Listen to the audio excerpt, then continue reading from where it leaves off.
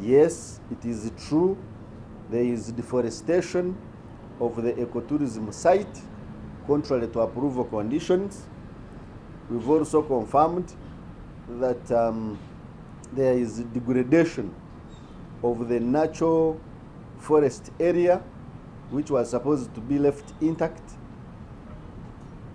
We did confirm that the urban center area hasn't been developed, that no sugarcane shall be planted in the natural reserved forest area, ecotourism area, the cultural site area, and land reserved for the urban center, notwithstanding the degradation status. We are ordering the company to stop any further deforestation of the natural reserved forest area, ecotourism area, the cultural sites area, and land reserved for the urban center.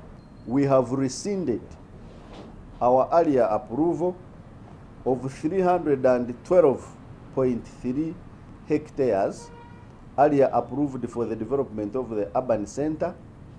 We have rescinded this approval to protect the 312 hectares which we found is not yet degraded, is not yet cut,